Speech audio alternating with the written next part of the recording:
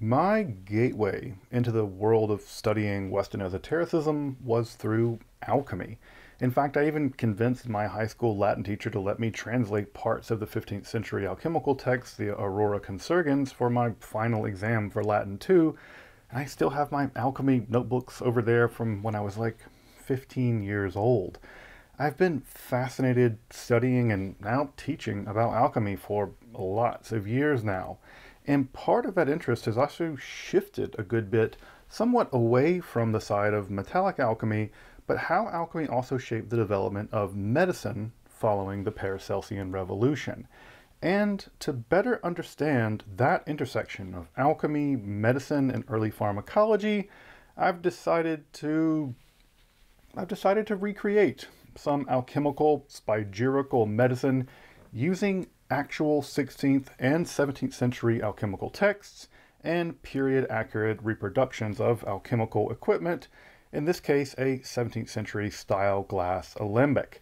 So come join me in my kitchen downstairs as I walk through getting into the mind of a 17th century alchemist, developing what I think is a pretty accurate period appropriate formula, and using the very kind of equipment a historical alchemist would have employed to create a spagyrical cure for melancholy.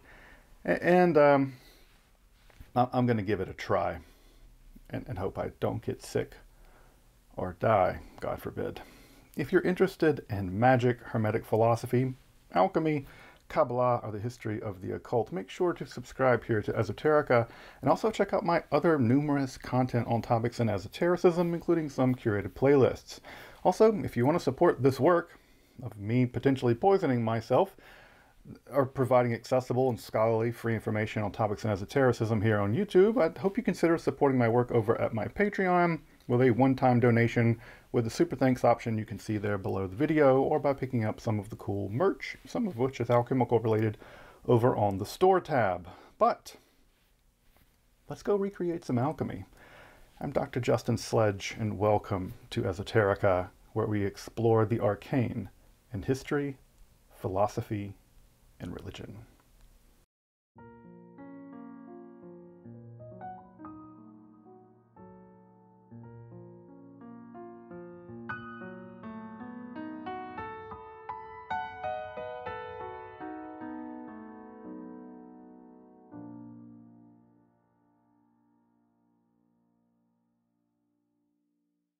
So to recreate something like a period accurate alchemical medicine, we need to get into the mindset and the grind set of how an alchemical doctor of that time would have thought and how they would have worked.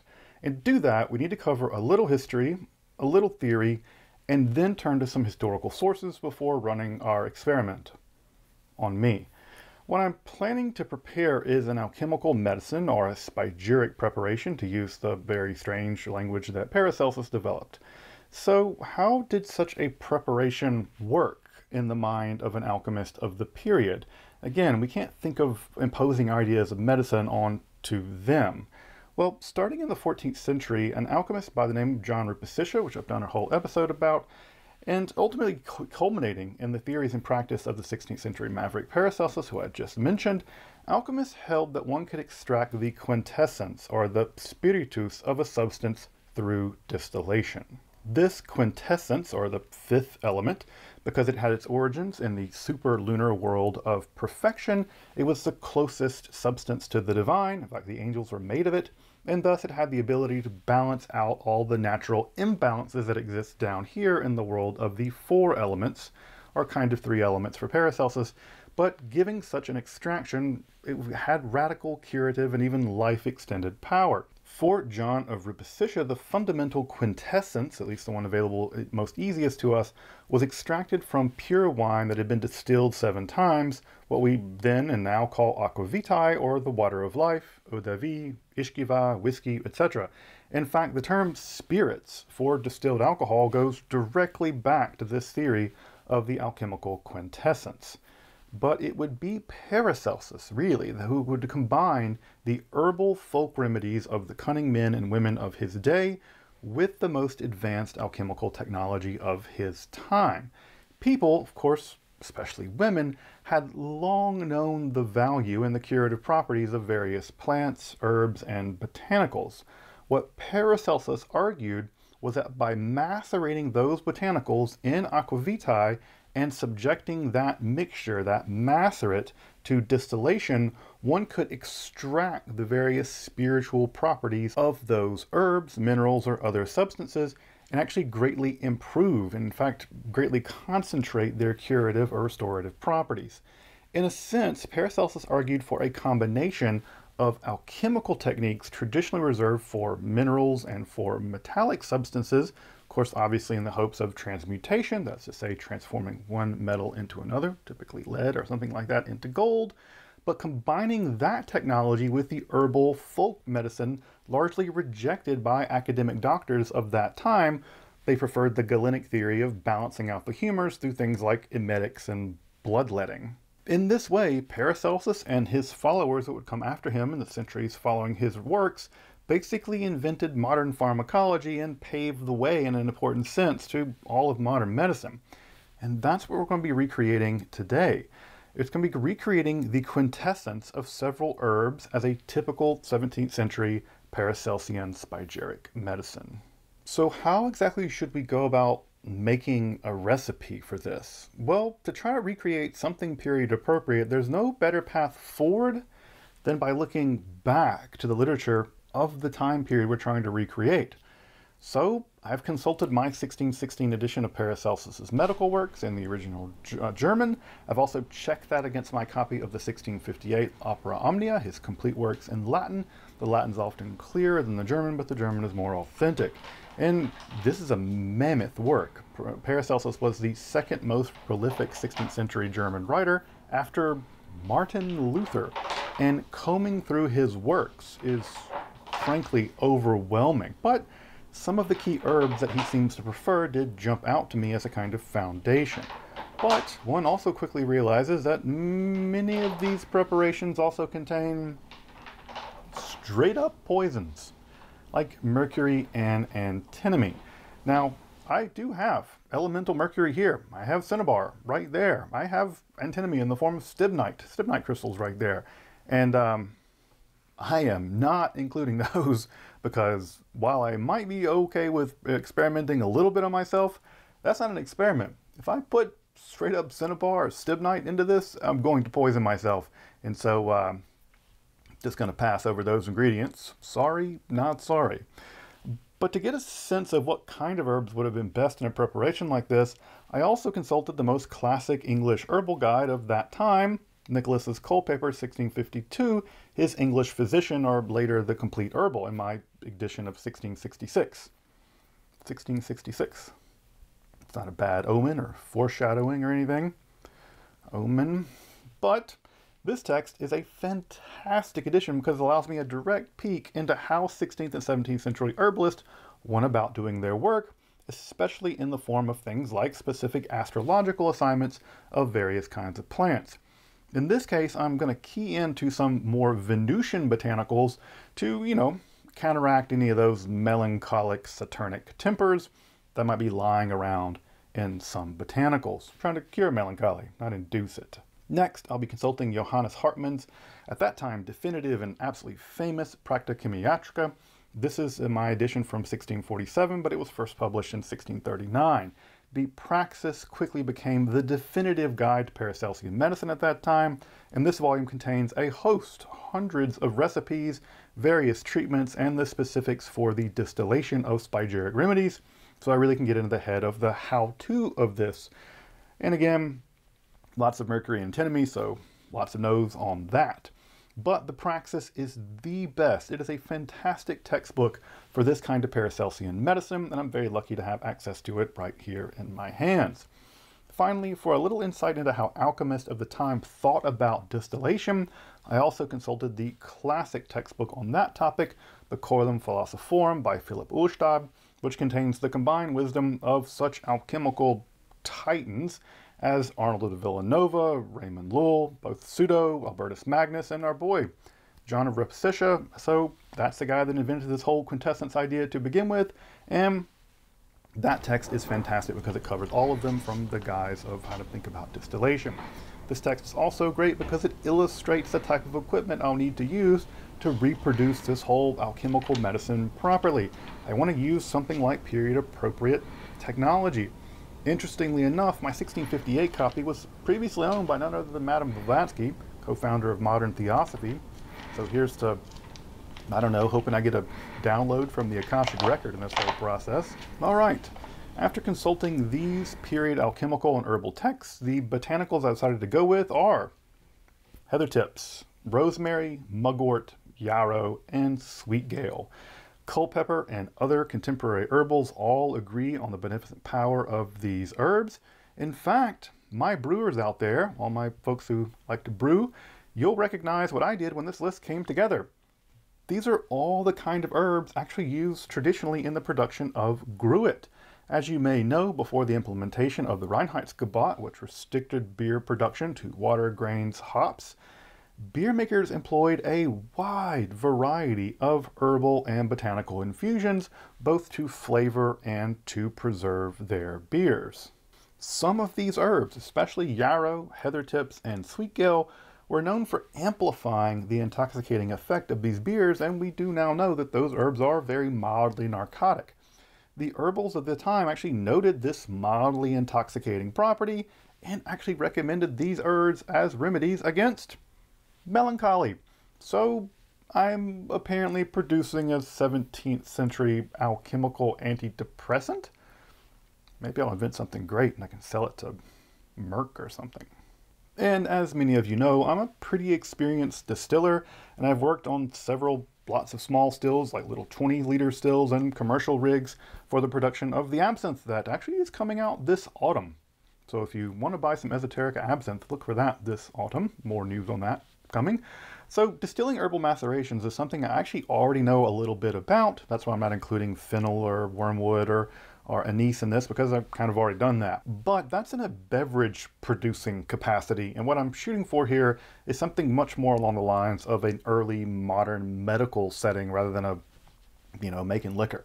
So no big copper distilling equipment here and no big mashing or anything like that. Rather, I'm going to be using a reproduction glass alembic typical of the 17th and 16th centuries, produced by the fine folks over at Historical Glassworks. You can check out the link in the description if you want to check out some of their amazing historical reproduction of glass. And as you can see from the antiquarian alchemical texts I've been looking at and other illustrations, their work is spot on.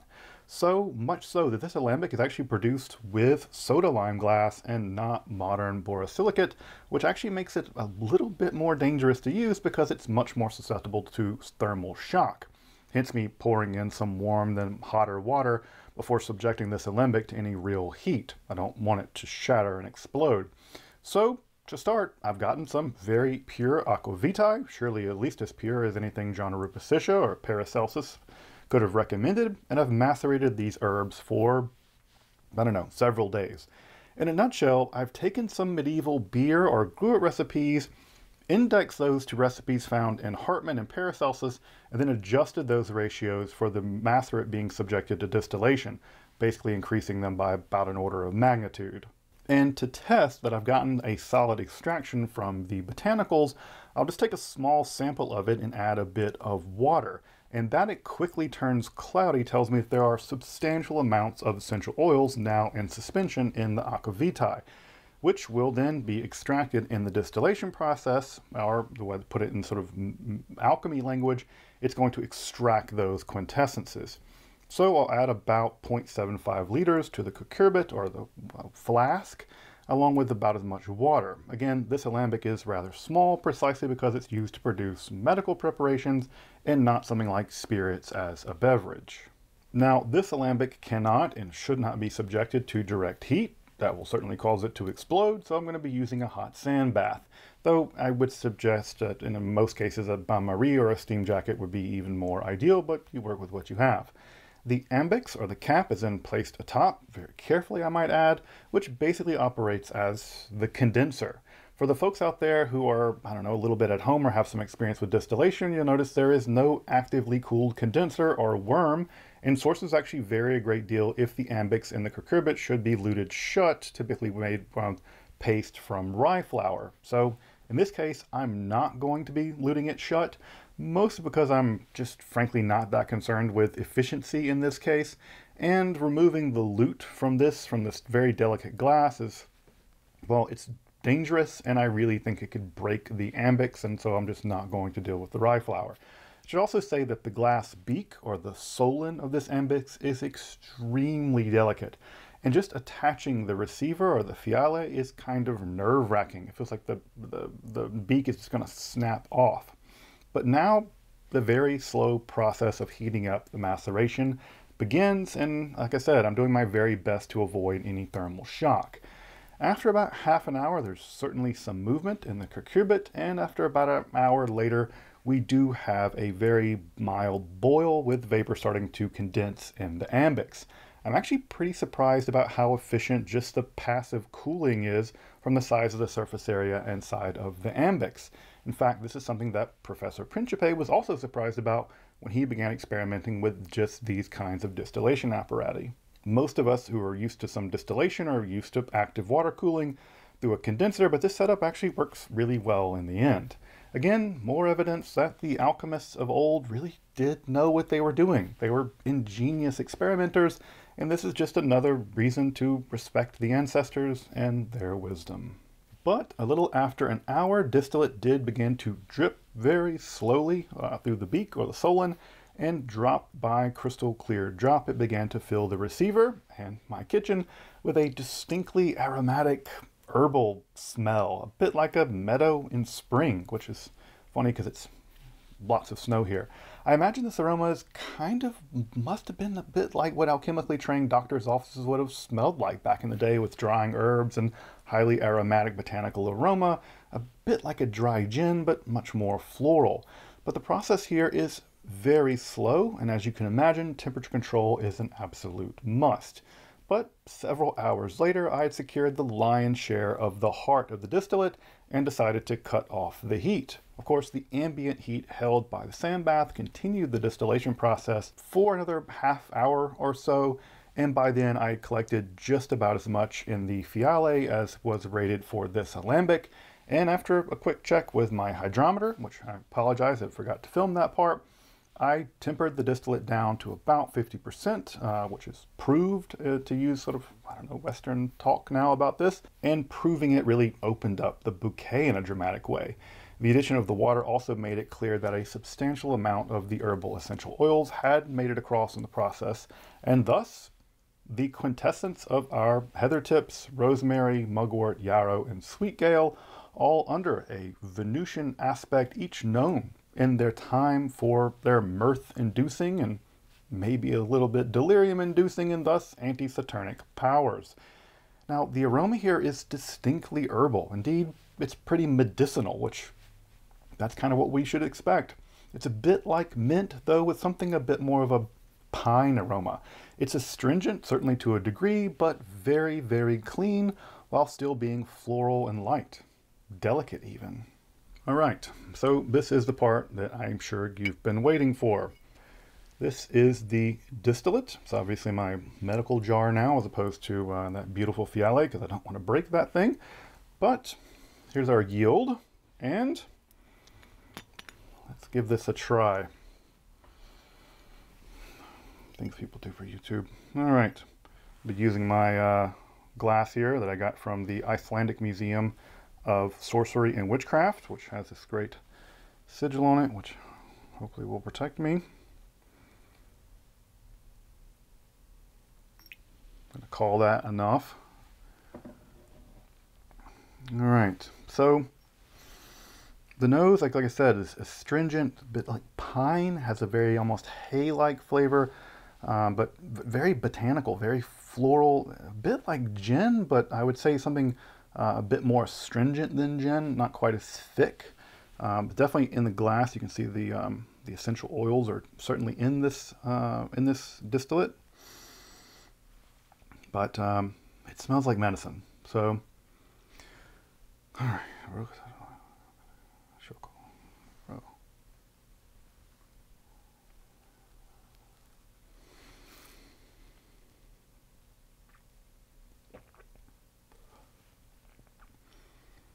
Strong. Um, the closest thing I could compare it to would be something like gin, but very astringent, very medicinal. It has a um, floral botanical quality. And the aftertaste is certainly like gin. Um, it, it, it, tastes a bit, like I said, like a meadow. It, it has all these very delicate flavors dancing around in it. You certainly wouldn't drink this for pleasure, I don't think. It's not the kind of thing that you'd want to make cocktails out of, alchemical cocktails. But it does have a distinctly medicinal flavor. It, it does taste like the kind of thing that you would go to the doctor and get. Um, I don't know, the word potion comes to mind. It definitely has this sort of Dungeons and Dragons the potion uh, flavor.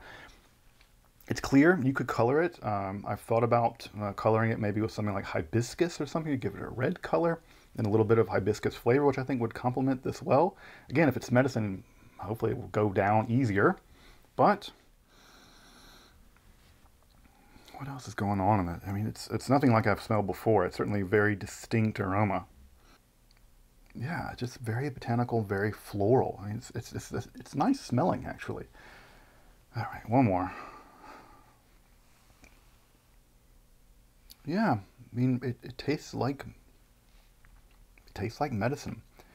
Um, like I said, a bit pine, kind of a aromatic pine flavor, and um, yeah, distinctly floral and herbal. Again, I think this is what medicine tasted like 300 years ago. I think we've created something really really created something like an alchemical medicine from 300 years ago. I, I don't know when the last time anything like this was made, but um, here we are. All right, so from consulting historical sources and antiquarian editions, using my historically accurate uh, alchemical equipment, and some of my knowledge from the brewing and distilling world, I think I've created or recreated something very similar to what would have been a alchemical or spagyric medicine typical of the mid 1600s. I mean, yeah, without the mercury and the antinomy, of course, but well, also, I'm, I'm lucky I don't really suffer from melancholy, uh, so I can't testify to the effects of this stuff. I mean, I'm not dead yet. I'm not rushing to the restroom. But if I do end up feeling something, whatever that means, I'll, I'll let you know in the comments. I mean, if the lights start getting more interesting or something like that, I'll, I'll let you guys know. Hopefully nothing deleterious will happen. I'll let you know if that happens too, but for obvious reasons, I would not recommend trying this at home just at all. But a fun little experiment here at Esoterica, and I hope to do more recreations like this in the future, so stay tuned. All right, well, thank you for watching, and uh, I'll see you next time with more alchemy content. I'm Dr. Justin Sledge, and thank you for watching Esoterica where we explore the arcane in history, philosophy, religion, and apparently medicine.